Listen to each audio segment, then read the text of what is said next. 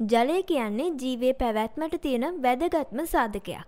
අපේ සිරුරේ සෑම කොටසකම යම් ප්‍රතිශතයකින් ජලය පවතිනවා. නමුත් සමහර විට අධික ජල ප්‍රමාණයක් සිරුරට ලැබීම මගින් ඔයාගේ සෞඛ්‍යයට වගේම සුන්දරත්වයටත් හානිදායක වෙන්න පුළුවන්.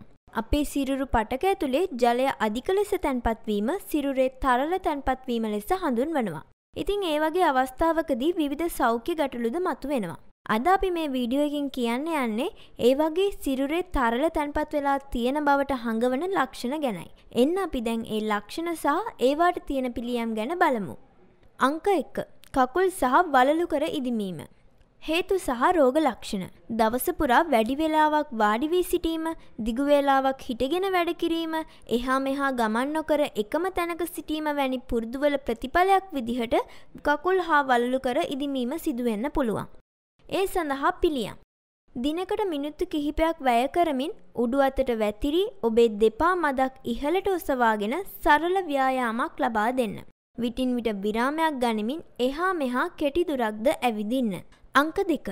උදර ප්‍රදේශයේ තරල තැන්පත් වීම. හේතු සහ රෝග ලක්ෂණ.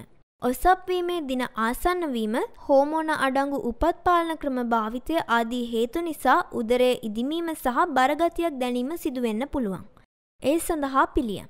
ඔබට ඔසප්වීමට ආසන්න නිසා බඩ ඉදිමීම සිදුවෙන්න පුළුවන්. ඒ අතර ඒක දින දෙක තුනකින්ද පහව යන්නත් පුළුවන්. එහෙත් ඖෂධ සම්බන්ධ බලපෑමක් නම් මේ සඳහා ඔබට වෛද්‍ය උපදෙස් අනිවාර්යෙන්ම ලබා ගැනීමට සිදු වෙනවා.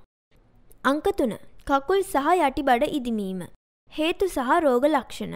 නිසි හේතුවක් නොමැතිවම හුස්ම හිරවෙන බවක් හෝ හිස සැහැල්ලු බවක් ඔබට දැනෙනවා නම් වහාම වෛද්‍යවරයෙකු වෙත යොමුවීමට සැලකිලිමත් වෙන්න. ඉතින් ඔයාලත් අධික ලෙස ජලය ඔයාලගේ ශරීරයට ඇතුළත් කරගන්නේ නැතුව අවශ්‍ය ප්‍රමාණය පමණක් ලබාගෙන නිරෝගිමත් ජීවිතයක් ගෙවන්න.